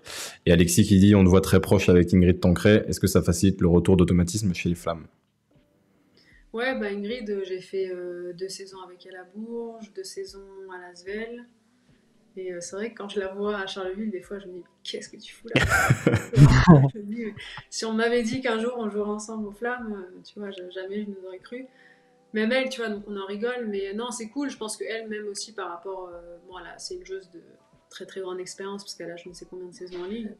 Mais c'est vrai que je pense que ça l'a rassurée aussi que, que, je sois là au début sur, sur Charleville. Mais voilà, elle, je pense qu'il faut que. Ingrid, faut qu'elle retrouve. Ça a été une saison très difficile pour elle l'année dernière. Et euh, voilà, je pense qu'il faut qu'elle retrouve euh, tout simplement euh, ce qu'elle est, quoi. Ouais, c'est clair. Et, et, je m'inquiète pas, je m'inquiète pas, ça, ça, va revenir et il faut qu'elle se fasse confiance. En tout cas, nous, on lui fait confiance. Ouais, parce qu'elle a été blessée longtemps en plus la, semaine dernière. elle a été handicapée par des pépins. ouais, ouais, elle a eu des petits pépins physiques et, et voilà, enfin, elle sur le plan. c'est vrai qu'avec le coach, ça a été difficile aussi. Mmh. C'était vraiment pas une année, une année facile, donc voilà, je pense qu'il faut juste qu'elle retrouve Ouais, c'est nouveau, nouveau souffle. Ouais, exactement. Exactement. Mais en tout cas, voilà, je la, je la sens vraiment, euh, en tout cas, épanouie, euh, contente d'être là, motivée. Euh. donc voilà, ça, c'est déjà, c'est déjà important. C'est déjà important. Go, tu voulais enchaîner? Ouais, j'enchaîne. tu, en fait, j'enchaîne un petit peu avec ce que tu as déjà dit. Comme tu as dit, voilà, vous, l'équipe a aussi des nouvelles joueuses, des nouvelles joueuses dans le championnat. Euh, je pense à Brenna Fraser, je pense à Nicolina Milic, les deux qui sont quand même assez efficaces depuis le début de saison. Euh, on a l'occasion aussi de te voir toi aussi bien en responsabilité. 32 euh, minutes. qu'est-ce que, est-ce que c'est comme tu, l'as déjà dit un petit peu, mais est-ce que c'était une des, premières choses que tu venais chercher à Charleville, en revenant ici plutôt. Ouais, ouais, clairement, je, cherchais du temps de jeu et, des responsabilités. Donc le temps de jeu, bah là, clairement, je peux pas, je peux pas le contester. Et, euh, voilà, j'essaye aussi d'apporter euh, tout ce que je peux apporter euh, sur un terrain. Après, je trouve que d'un point de vue personnel, j'ai encore un peu trop de déchets, mais je pense que ça fait partie aussi du, du process dans mon nouveau rôle. Quoi. donc voilà, je, je travaille, j'apprécie en tout cas voilà, le temps de jeu. Et comme tu dis, c'est pour ça aussi que je suis revenue, euh, je suis chez les Flammes. Bah, j'enchaîne du coup avec une autre question. Du coup, tu es à quasi 10 points de moyenne là euh, euh, sur sur la saison. on doit prendre des voilà des, des, bons tirs, des tirs qui te correspondent, des tirs sur lesquels tu as travaillé pendant ta pendant ta carrière. voilà, on te sent quand même. je repense à moi à tes années du côté de Bourges en Eurocoupe. je me souviens très bien de ces années-là.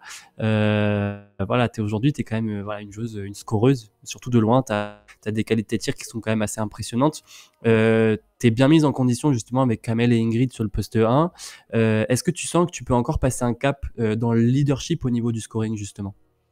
Ouais, ouais, bien sûr. Et c'est pour ça que je suis venue là aussi aux Flammes. C'est que je pense qu'individuellement, il faut que je me développe aussi dans, ce domaine-là si je veux pouvoir passer des caps. voilà, que ce soit dans l'intensité que je vais mettre à l'entraînement, en, match, défensivement, mais dans les prises de responsabilité et voilà, être légitime aujourd'hui euh, bah, de, de, guider un peu l'équipe aussi, quoi, parce que euh, on a Amel et Ingrid qui ont beaucoup d'expérience, mais après on reste une équipe, euh, une équipe assez jeune, et d'autant plus que ce sont que des filles qui découvrent le championnat. Donc voilà, aujourd'hui je suis venue aussi chercher cette légitimité-là, et, et voilà, oser aussi prendre mes responsabilités, qu'elles soient sur le terrain, dans, les actions que je vais mettre en place, mais verbalement aussi. Je peux, je peux témoigner de l'adresse longue distance. J'en ai fait les frais sur un, concours de tir. C'est vrai. Il y en a qui en doutent. Et euh, je, vois, je, vois, là des, des, questions dans le chat euh, sur Amel, euh, On dit Ethan qui demande Amel Boudera, une bonne capitaine, joueuse d'expérience. Est-ce que c'est un monument dans la ville comme nous on le voit sur le terrain? Ah oui, clairement. clairement, Amel, Amel à Charleville, c'est Amel Boudera quoi. Enfin, tu sors avec elle boire un verre, c'est-à-dire qu'elle a arrêté toutes les tous les 5 mètres. En plus, elle connaît tout le monde. Donc, euh, non, non, clairement, tu sens que. Ouais, non, non, ouais. en plus, Charleville, c'est une petite ville. Hein. C'est une petite ville et t'imagines, elle arrivait, elle avait 18 ans, quoi. Elle, a, elle, a, elle a, tout connu avec elle a tout connu. Elle a tout connu. Donc, en fait, les gens euh, les gens l'ont vu grandir, les gens l'ont vu évoluer. Les, euh, Donc, non, non, c'est clair. Et en même temps, elle, elle, leur rend bien parce qu'elle est toujours là. Après des années. Mais clairement, c'est sa loyauté aussi qui fait que euh, elle est aussi reconnue aussi dans le club et aussi appréciée. C'est qu'elle est, je pense qu'elle a eu souvent beaucoup d'opportunités de partir et euh, mhm. elle l'a pas fait. Et, euh, et les gens aujourd'hui sont reconnaissants par rapport à ça, c'est sûr. On enchaîne, on passe euh, sur le dernier thème, euh, thème euh, équipe de France. donc toi, avant de débuter ta carrière professionnelle, dans, voilà, dans des clubs assez légendaires, quand de Ligue féminine, on en a parlé, Charleville, Bourges, Lyon, etc. tu as vécu le privilège assez exceptionnel de porter le maillot bleu en équipe de France jeune. en 2009, tu remportes la médaille de bronze à l'Euro U16 et ensuite ça s'enchaîne. Hein, tu es sacrée vice-championne du monde en, en U17. L'année suivante, vice-championne d'Europe à l'Euro U18, donc en 2011.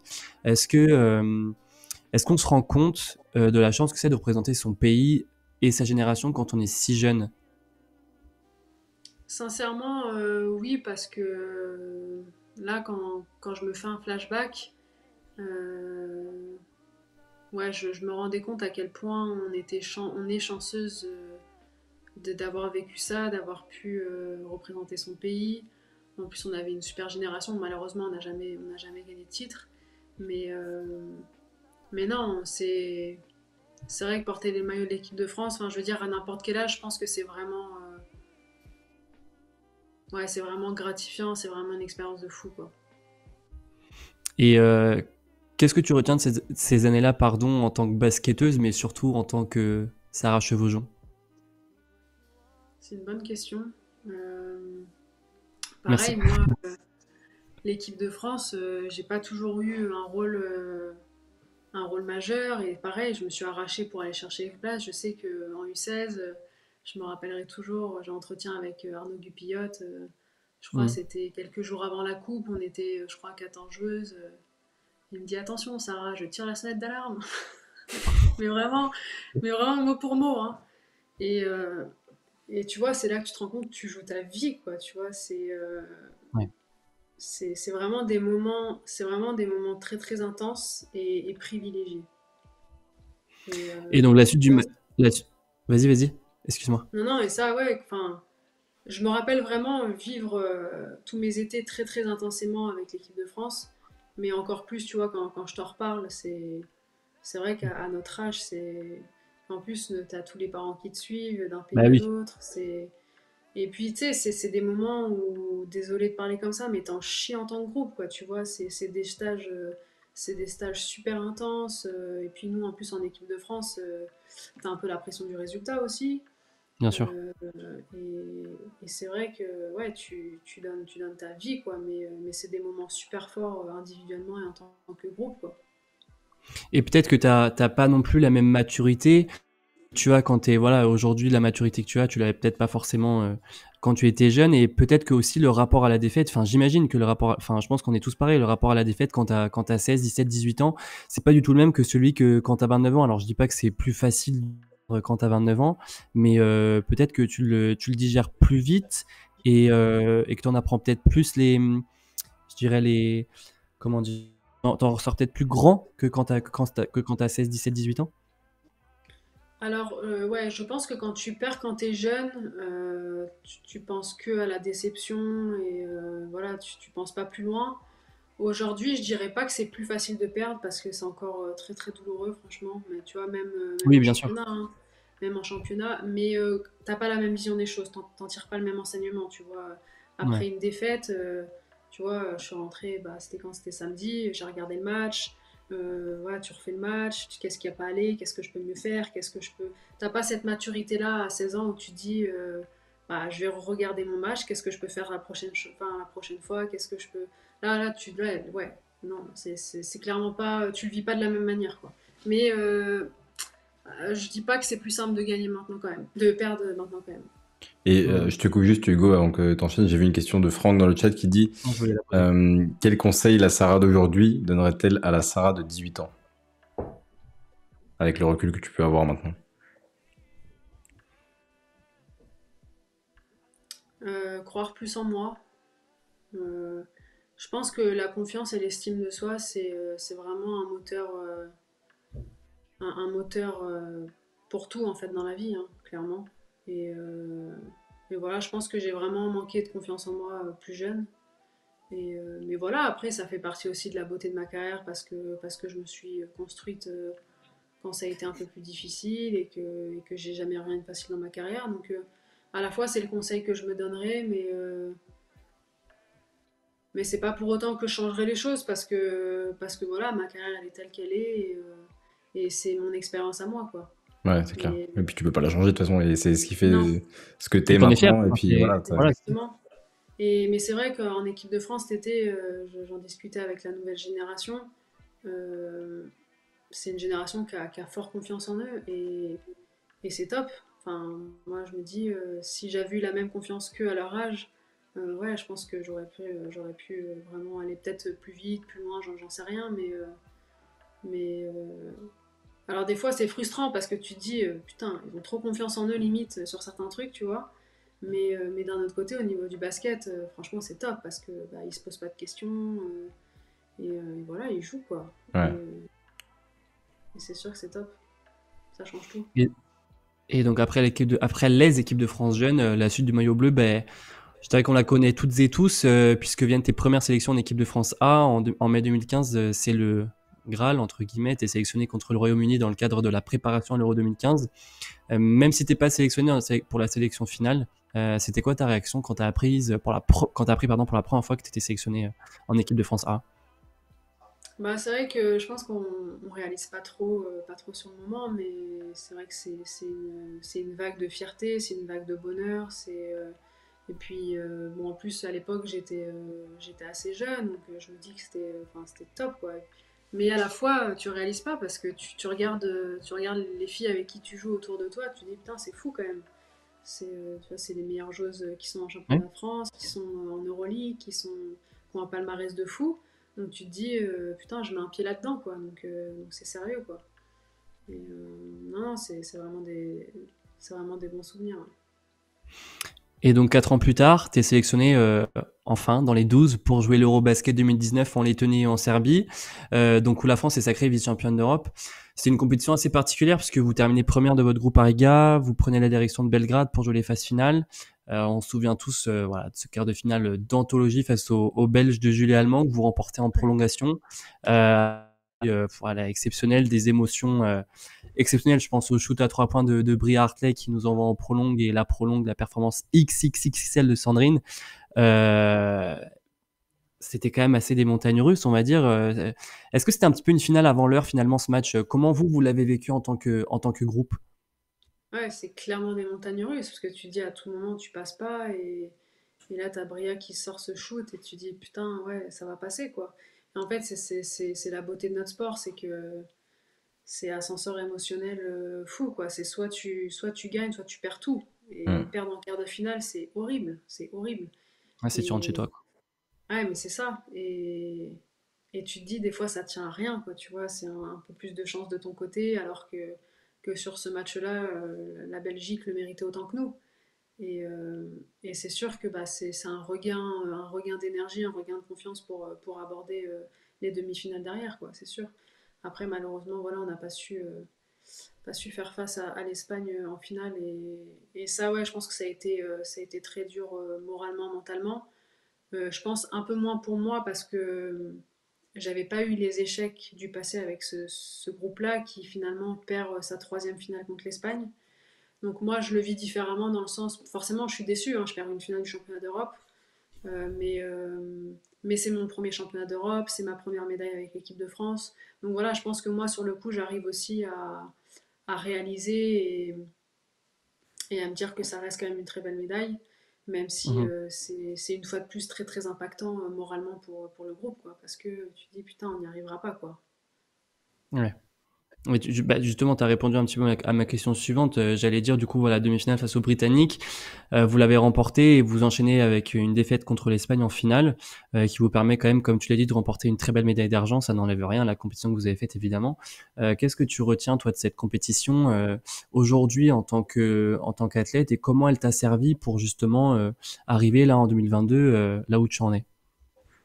Mais Le fait de, de perdre, de perdre contre l'Espagne forcément, ça te, ça, te, fait remettre en question. Et je pense que là où on a perdu le match, euh, c'est vraiment sur l'intensité qu'on y a mis par rapport à elle et, mentalement aussi. Mentalement, euh, tu sentais qu'elle, il pouvait rien leur arriver. Euh, que, leur plan, que leur plan de jeu, que leur plan de match, il était comme ça. Elles l'ont respecté, elles étaient toutes dans la même dynamique, elles étaient toutes sur la même page. Et, et nous, le fait qu'on rentre pas bien dans le match, que tu vois, elle met des gros shoots, qu'il que, qu'il y a un petit écart dès le début, euh, je pense que ça. Et puis, et puis, comme je te disais, ça laisse des traces. C'est, c'est, putain, c'est la finale contre l'Espagne. Tu dis non, pas encore une fois. Et, je pense que, je pense que mentalement, tu es atteint, quoi. Et tu penses que, parce que je, suis, je rejoins exactement ce que tu dis, c'est vrai que ben, moi qui étais dans les gradins, j'ai senti aussi ce, quand, quand elles sont arrivées, les, les Espagnols, on sentait que c'était euh, la fête, que c'était, euh, elles étaient sereines, elles étaient mentalement, elles étaient sereines. et ça. senti, tu vois, vraiment, ça s'est senti.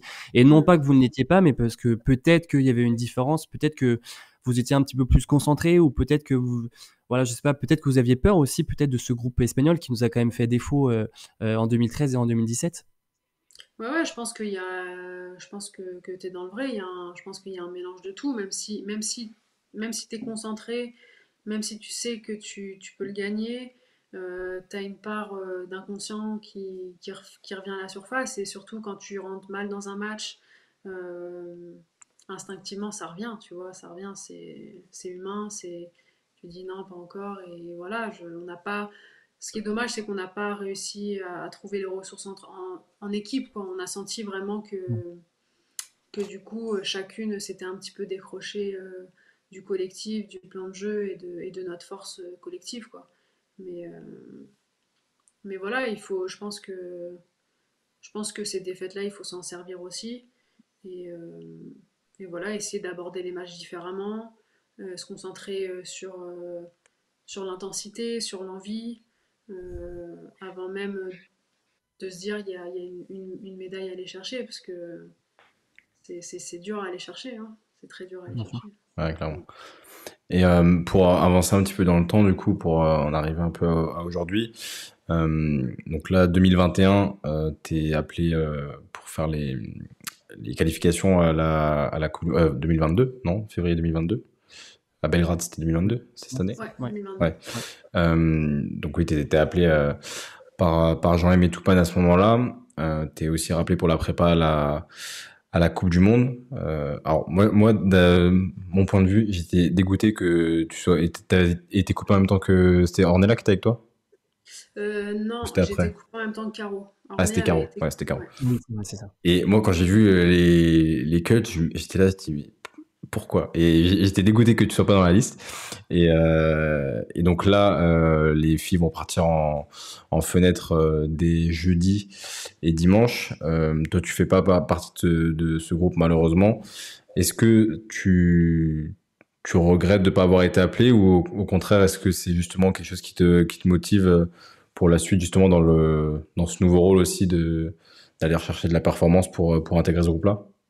Bah forcément, j'étais déçue euh, de ne pas être appelée. Après, je me dis, quand j'y repense, quand je remets les choses dans leur contexte, c'est pas illogique qu'il m'ait pas rappelé, dans le sens où bah, j'ai pas fait partie euh, du, groupe final pour championnat du monde et que je pense qu'il reste un peu dans cette dynamique-là aussi euh, pour, pour les qualifications.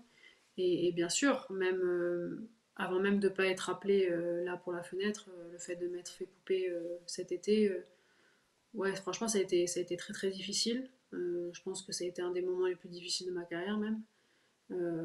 mais voilà, enfin, c'est on va dire que j'ai eu 48 heures difficiles, mais après, voilà, je me suis vraiment recentrée sur moi, sur mes objectifs. Euh, je me suis dit aussi que j'avais fait le bon, le bon choix vraiment de signer à Charleville pour justement euh, acquérir, je pense, euh, toutes ces petites choses qui me manquent aussi pour, pour peut-être aller au bout d'une compétition avec l'équipe de France, engendrer de l'expérience, de la confiance, de, du leadership, de, de, tout ça. Et forcément, c'est quelque chose qui me nourrit, qui me nourrit au quotidien et, je pense qu'il va m'aider par la suite. Ouais, mais c'est vrai que, on a été pas mal à, à, pas trop comprendre, tu vois, les, les, choix pour, notamment pour la Coupe du Monde.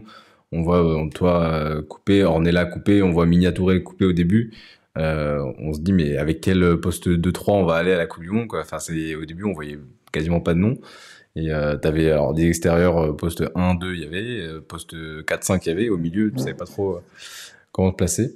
Mais, mais là, malgré tout, au final, il y a quand même pas mal de nouvelles têtes, là, sur, sur la, fenêtre. Mais, euh, mais on espère que tu pourras retrouver le, groupe euh, très rapidement. C'est tout ce qu'on te souhaite en tout cas. Évidemment. Euh, on avait de, quelques questions avant de, te laisser, qu'on a eu sur Insta et dans le chat. Alors, moi, je sais plus si je t'avais posé la question quand on s'était vu à Lyon. et la question qu'on a eue, c'était pourquoi le numéro 88 et pourquoi le 8 aussi, du coup? Ouais, alors, à la base, donc j'ai retrouvé mon numéro. à la base, je suis numéro le 10. Pourquoi? Parce qu'à la base, moi, je voulais être euh, joueuse de foot. Et ah oui, c'est vrai. Et j'étais fan de Zidane. Et donc, euh, j'ai toujours eu le 10. Euh, quand je suis arrivée à Charleville, le 10 était pris par Caddy, Minté. Et du coup, je ah me suis tournée vers le 8 parce que mon chéri, son père, son frère ont joué avec le 8. J'avais pas forcément de deuxième numéro fétiche. donc voilà, je me dis, bon, je vais faire honneur à ma belle famille. je vais prendre le 8. Et quand je suis arrivée en équipe de France, le 8 était pris. Donc j'ai pris le 88. Le 8 et 10, le 8 et 10 étaient pris et donc j'ai pris le 88. Donc euh, voilà, c'est la petite histoire euh, du 8, du 90, euh, du 88, mais j'ai enfin retrouvé mon numéro. Et, ouais, le 10. maintenant, maintenant que tu le dis, c'est vrai que je crois que tu me l'avais dit, l'histoire de Zidane, ça me, ça me parle. sur Insta aussi, ça nous a beaucoup parlé de ton shoot et de ta mécanique de tir que tout le monde trouve euh, magnifique. c'est impressionnant. pour le coup, ouais, tu as vraiment une mécanique qui est super pure. Euh, est-ce que c'est quelque chose que tu as travaillé ou c'est une gestuelle que tu as eue euh, depuis toute petite ça? Non, c'est quelque chose que j'ai vraiment travaillé parce que je me revois encore au pôle espoir. on me disait, mais Sarah, arrête de shooter avec les fesses en arrière. Sarah. Non, non, franchement, c'est après, je pense que de base, au niveau de mon coude, j'ai quand même eu un, geste toujours plus ou moins fluide, mais c'est vraiment, c'est vraiment quelque chose que j'ai beaucoup, beaucoup, beaucoup travaillé quand même. Voilà. Pour ceux qui posaient la question, bah, vous travaillez, vous copiez, vous faites, vous regardez les vidéos et vous enchaînez les tirs. Et que je continue à travailler d'ailleurs. Ouais. Comment, tu travailles justement ça pour corriger ta mécanique et comment tu arrives à l'intégrer dans des process d'entraînement ou euh, pour que ça devienne une habitude? Bah, déjà, à Lyon, euh, j'ai beaucoup, beaucoup travaillé avec Guipra euh, sur le travail individuel et c'est là que j'ai vraiment passé un cap, on va dire, dans mon jump shoot déjà. Et en fait, il m'a tellement répété les mêmes choses, mais je vous dis, mais répéter répéter répéter, qu'aujourd'hui, en fait, je, je, suis capable de m'auto-corriger déjà par rapport à ça. Euh, voilà, je ne sais pas si si je suis court, je sais que euh, voilà, il faut que je passe sous la balle, il faut que mon dernier dribble soit plus rapide. Enfin voilà, j'ai plein de petits. Euh, voilà, je peux m'auto-corriger déjà par rapport à ça. Euh, le 3 points, c'est un petit peu plus difficile, mais, mais c'est vraiment juste beaucoup, beaucoup de répétitions en fait. Je, je suis super contente parce que j'ai retrouvé le gunshot à Charleville qu'on n'avait pas à Lasvel. Donc voilà, j'utilise je, quand même assez souvent et, et c'est vrai que je pense qu'il faut vraiment diversifier le travail. Il ne faut pas juste faire euh, des shoots statiques parce que c'est pas la vérité en match. Mais euh, déjà, voilà, juste pour travailler euh, la mécanique pure et dure, la confiance, la répétition, c'est vraiment, c'est vraiment un bon outil.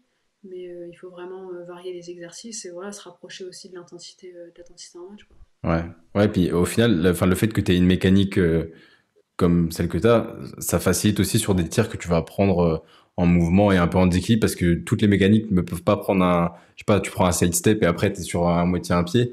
toutes les mécaniques si tu tires un peu plus à deux mains ou enfin tu peux pas forcément le faire. Ouais, ouais. Et toi c'est vrai qu'on t'a vu sur certains matchs le faire et, euh, et ça, te- ça te permet de d'avoir ces tirs là c'est et de d'être plus dangereuse encore sur différents euh, différents moves donc euh, donc c'est cool. Ouais, non, c'est clair. ouais.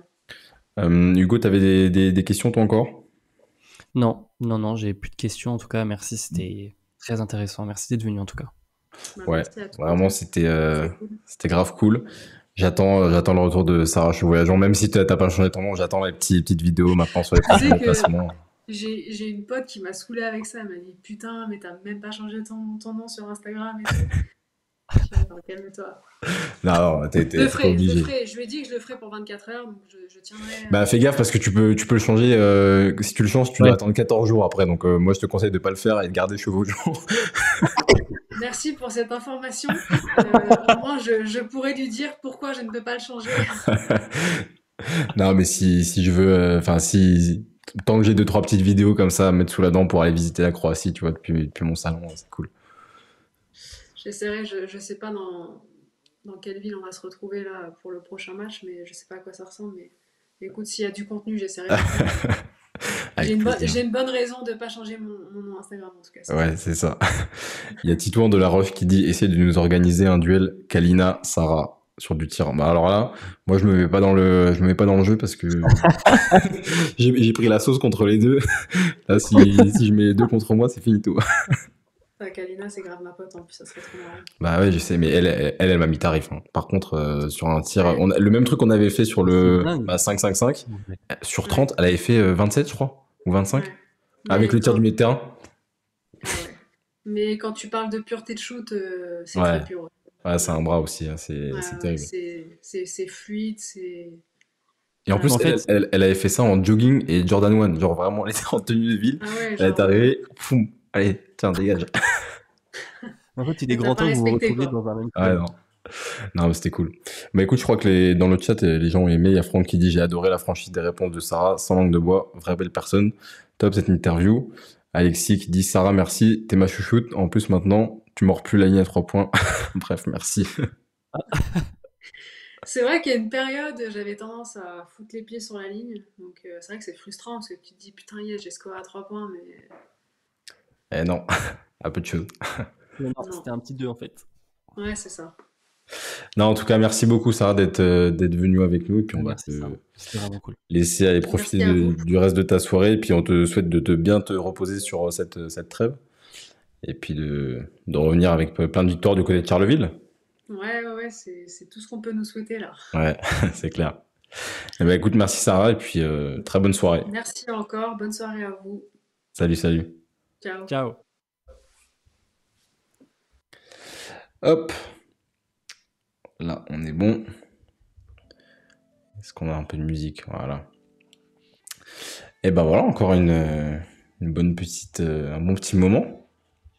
C'est vrai que j'aime- moi j'aime bien les jeux quand, quand c'est franc, tu vois, quand ça parle euh, comme ça, ça. C'est c'est parfait. Et je pense que si elle avait voulu, elle aurait peut-être été encore plus franche sur certains passages. Je pense qu'on l'a tous senti, mais que peut-être qu'elle s'est dit qu'elle pouvait. Oui, mais après, enfin, c'est pas le but non plus. hein, on n'est pas là pour. Ouais, euh. Non, non, mais bien sûr. Mais c'est vrai que elle a, elle a vraiment. On sent- on sentait que même dans ce, dans son, dans son vécu à elle, on sentait que voilà, elle a parlé sur langue de bois et. euh, et ouais, c'est c'est ça aussi qui est, qui est intéressant, c'est justement ces points de vue-là euh, que nous, peut-être, c'est vrai que quand on est devant notre télé, on se rend pas forcément compte, mais que bah, ouais, c'est vrai que pour arriver à ce niveau-là, bah, il y a énormément de travail. Il y a des fois, le chemin, il est un petit peu semé d'embûches et on a tendance à l'oublier. Donc, euh, Bah, c'est ça, parce que autant on peut voir des, on peut avoir les témoignages de joueuses où tout se passe à peu près bien, autant bah, il y en a c'est plus compliqué, mais ça n'empêche que du coup euh, c'est sûrement les plus grosses bosseuses que vous pouvez trouver euh, Ouais, clair. dans le championnat et qui, si elles sont là, c'est pas pour rien et que c'est du travail euh, de, de longue haleine et que voilà si si vous voulez aller au plus haut niveau, bah il faut se donner les moyens et euh, il faut être prêt à en chier un petit peu. Qui c'est qui a dit maintenant place à l'anecdote de Titouan Ah, C'est Clémy. Titou, à ton tour de parler. On, on, on veut pas se mettre le corps arbitral à dos, nous, après. Parce que là, ils ont un fichier, euh, fichier S au, dans le, au comité euh, des arbitres. Il y a la tête de Titouan, c'est marqué Wanted sur le, sur le hall d'entrée, là. Dead or Alive. Oh my god. Avec un gros cash price là. Grave. Non mais voilà, en tout cas j'espère que vous avez bien kiffé le ce petit moment avec Sarah. C'était, c'était bien cool. Euh, qu'est-ce que je voulais vous montrer moi? Euh, Tac tac tac. Il est où mon truc? Là. À venir, du coup, euh, je l'ai évoqué rapidement euh, avec euh, Sarah, mais cette semaine, pas de. Enfin, du coup, c'est la trêve, donc pas de championnat. Vous avez en revanche des matchs de l'équipe de France qui sont les, les qualifs pour l'Euro qui aura lieu en juin prochain du côté de la Slovénie et de d'Israël. Ouais. Exactement. donc match jeudi soir à Saint-Chamond, dans la nouvelle salle toute belle de Saint-Chamond à 20h30. Les deux matchs sont diffusés sur Sport en France pour votre information.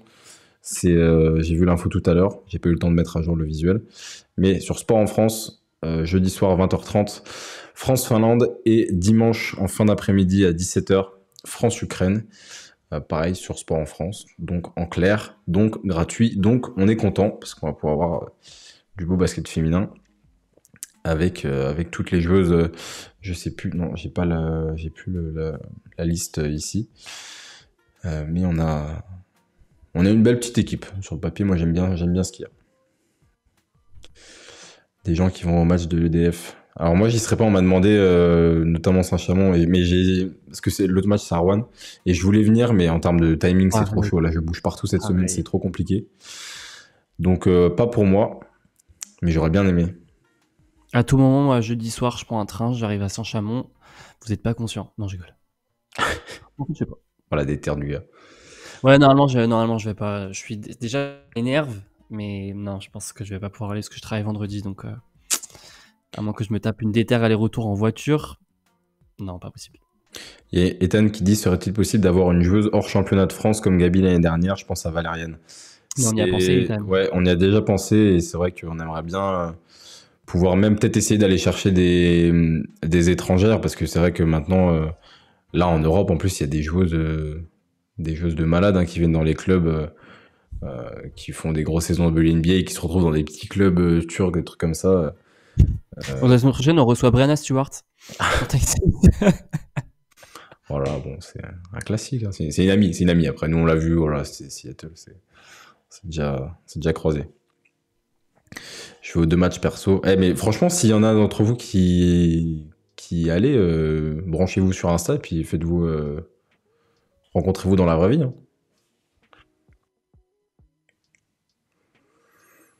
Parce que vous vous parlez tous les lundis soirs sur un chat. si vous avez l'occasion de vous croiser en vrai. C'est ça qui est bien. Ce serait énorme. Vous faites une photo de famille et vous nous mentionnez. Grave, vous nous mentionnez après. Euh, ensuite, sur la petite partie des actus, on a quelques trucs bon, qu'on a déjà qu'on a déjà évoqué. Euh, donc Anatadic de retour sur les parquets qui a passé des examens du coup complémentaires euh, qui étaient euh, à, Rennes qui se sont avérés concluants. Bonne nouvelle, pas de problème plus grave que ça pour Anatadic. Et, et maintenant on attend qu'elle se lance dans sa saison parce que du coup faire les entraînements c'est bien mais là faut qu'elle se mette dans le rythme de ses coéquipières. Et puis on attend de voir euh, la raquette Yakubu Tadic œuvrer euh, dès, la, dès, la, reprise à la trêve. Je pense que ça va faire bien bien mal. Euh, on en a parlé aussi, Evelyn Akator blessée, Laura Hill qui arrive en joker médical. donc ouais, Akator c'est c'est une blessure qui est un peu plus sur la durée parce qu'elle a joué contre La Roche mais euh, euh, c'est plutôt voilà, des, des, genoux un, peu, un petit peu fragiles et qui fait que ils peuvent pas exploiter son, son potentiel à 100%.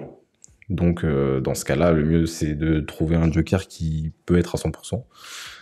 Donc on espère que ce sera le cas. Et dommage pour, pour Basketland parce que c'est vrai qu'avec la saison qu'elle a fait l'année dernière, sur le papier c'était une très très grosse recrue et pas autant d'impact que qu'attendu. Euh, Kekeli Lenga aussi, touché au genou, ça c'était l'image qu'on n'a pas du tout aimé voir. Euh, moi, elle m'a parlé d'une hyperextension du genou, donc euh, c'est soit en gros, c'est soit croisé, soit ménisque, soit en torse.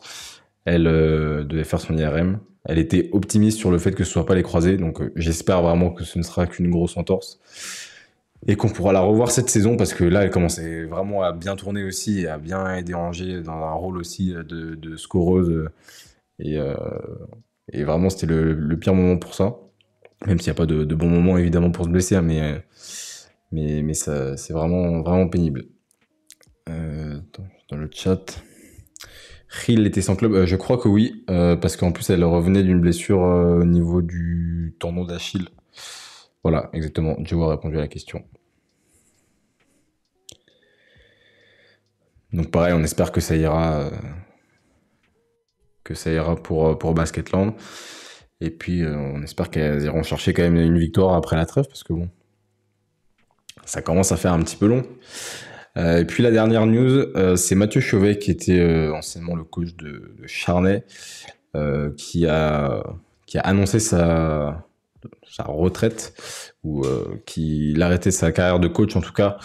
il a annoncé ça sur son Facebook, je crois, et en fait il il se réoriente pour être plutôt dans une carrière d'entrepreneur pour aider un petit peu le... enfin plus dans le monde voilà entrepreneurial il en avait un petit peu ras-le-bol de, de comment le basket avait évolué enfin, par rapport à ce que lui euh, euh, défendait comme valeur et tout ça. Donc il a préféré arrêter. Et puis, euh, et puis voilà pour les actus de la semaine.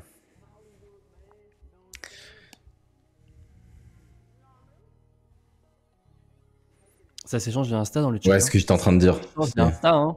T'inquiète même pas, hein. La famille Bah oui, parce que là, Willy était danger, Jules était danger. Oh, vous allez voir les matchs. Euh... la pince, on va manger un Burger King après, et puis let's go, quoi. On se serre la pince. Allons-y. The Answer 6. Salut. Welcome. Hello.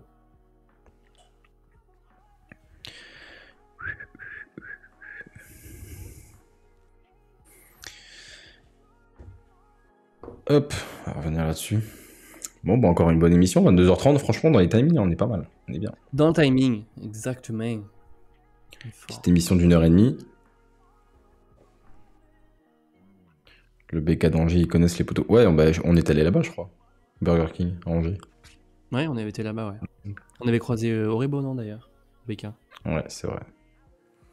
Et eh oui, petite pensée pour Célia Cardinal, ouais, qui joue à Strasbourg, qui a été, euh, qui, elle était en prêt, ah, je crois. Non et qui s'est fait les croiser. Qui s'est fait les croiser. Et du coup, fin de saison. Qui tournait bien avec Strasbourg en plus, je crois, en, en LF2. Donc, euh, donc dommage. Oh, mais t'imagines, Franck, si un jour il y a un premier bébé taille 6, mais ce serait dingue. T'imagines ou quoi? Ouais. euh, taille 6, euh, on va faire un site de rencontre. T'as ici de rencontre, du coup, t'as ici de rencontre. Oh, bon, allez. Oh, Là, pour moi, il est 22h30. Non, mais déjà, j'aimerais bien qu'on réussisse à faire un jour un, truc où on peut faire venir du monde et, et on pourrait tous se, se rencontrer autour d'un match. Ça pourrait être cool, mais c'est vrai qu'à organiser, c'est c'est pas facile. En plus, sur un, sur un événement où vous êtes tous à peu près dispersés entre le Angers, entre le Nord, entre le Sud-Ouest, entre Lyon. Enfin, ça fait tout ça. Vous êtes vraiment. Il y a, il faudrait trouver un point au milieu, mais il y a personne qui est tout centralisé au milieu. Vous êtes tous. Euh, vous prenez la France. À chaque, euh, chaque frontière, il y a quelqu'un. on a dit que, que ce serait peut-être du côté de La Roche. Titou, il a dit peut-être du côté de La Roche, ça pourrait se faire. Ouais, clairement. Affaire à suivre. Et par contre, j'ai beaucoup aimé ce que j'ai déjà fait, c'est Prune le premier bébé taille 6. Jus, celle-là, elle est magique. Franchement, j'adore. le premier bébé taille 6. Prunette, la moutarde, qui est là. Petit premier bébé. Très bon ça, Jus. Titouan et Antoine vont nous organiser ça. Ah bah, faut qu'on trouve un point au milieu entre euh, Basketland et La Roche. Et là, Sarah Chevaujon, on va l'appeler parce que c'est La Rochelle le point au milieu. donc,